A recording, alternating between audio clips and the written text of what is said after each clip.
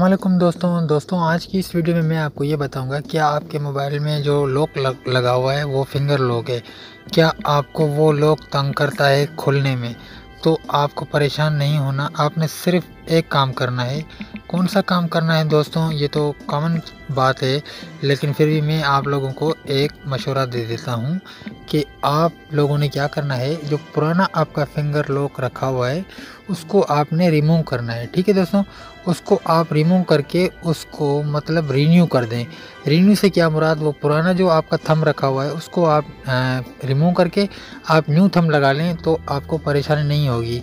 क्योंकि ये ऐसा होता है, ये जो लकीरें होती है ना, ये लकीरें दिन ब दिन काम करते करते ये लकीरें जो है ना घिस जाती है। मतलब उसमें थोड़ी चेंजिंग आ जाती है। जब आपने फिंगर लॉक लगाया हुआ होता है, तब आपकी लकीरें कुछ और होती है। और जब आप कुछ महीने, दो महीने, तीन महीने के बाद जो है ना, आपको लॉक खुलने में दुशारी करता है और आपके साथ परेशानी होती है कि भाई लॉक खुलता नहीं है। मतलब एक बार लगाओ तो नहीं खुलता, दो बार लगाओ तो नहीं खुलता, तीन चार बार लगाने के बाद जो है ना, वो फिंगर लॉक खुलता है। तो आपने उस लॉक को रिमूव करके आपको हर महीने दो महीने के बाद आपने वो कोड रीन्यू करना है। जब आप रीन्यू करेंगे तो आपको वो तंग नहीं करेगा। दोस्तों फिंगर लॉक आप किस तरह से चेंज करेंगे? आपको सेटिंग में जाना है।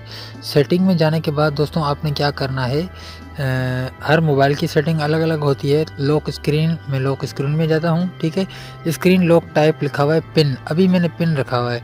अभी मैं इसको पिन के ज़रिए ओपन करता हूँ, ठीक है? अब यहाँ से मैं फिंगरप्रिंट लगा सकता हूँ, लेकिन मैंने अभी अनरजिस्टर्ड किया हुआ है। इसको मैंने रजिस्टर्ड नहीं किया। तो यहाँ से आप इसको रजिस्टर करके इसको आप लगा भी सकते हैं।